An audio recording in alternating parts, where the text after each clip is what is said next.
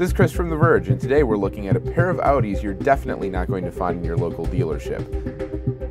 One drives for you, one reads traffic lights, and both are kind of amazing. So Audi has worked with the city of Las Vegas to wire up all of these street lights so that they're actually downloading information about the programs that the street lights are running on, the reds, the greens, in real time, and Audi is calculating uh, when the lights are likely to change.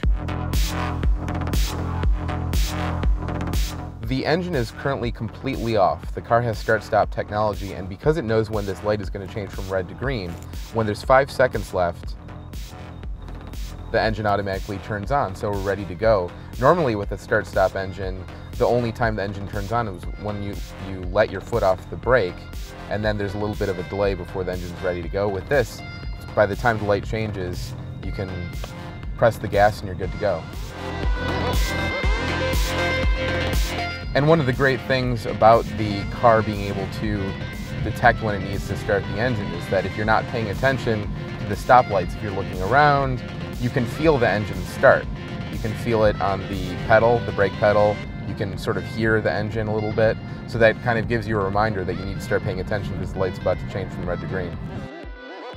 The system is only live in a few European cities right now, and it's very difficult to scale because every major European city does their traffic lights differently. It's a little more homogenous in the US, but it's still a huge task to try to take in all of this traffic light information, collect it in, an, in a, a server farm in Germany, and process it and get it out to all the cars. So this is a slow process. The Las Vegas deployment is just for CES, of course, but over time, hopefully, we'll see this in more cars.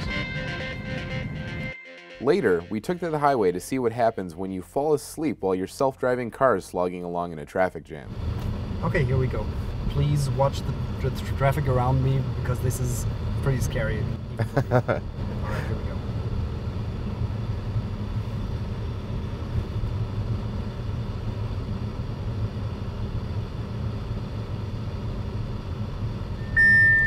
There you go. So it says, driver attention, please take control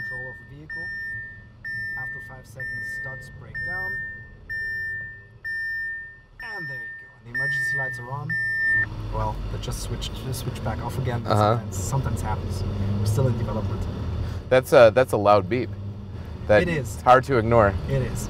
Absolutely. We want the driver to know that he's supposed to take over. Right. It uses a variety of sensors both inside and outside the car to make this happen. Inside there are cameras that are actually keeping an eye on my face. If I fall asleep, the car detects that, it automatically shuts off the piloted driving, and if I take too long to take control of the car, it'll actually bring it to a full stop, put on the flashers, and call the cops. So there you have it. Just like last year, Audi is throwing a lot of new technology at CES. And neither of these technologies are ridiculous notions that won't ever see the light of day. They're real, and there's good reason to think they'll be in production cars soon.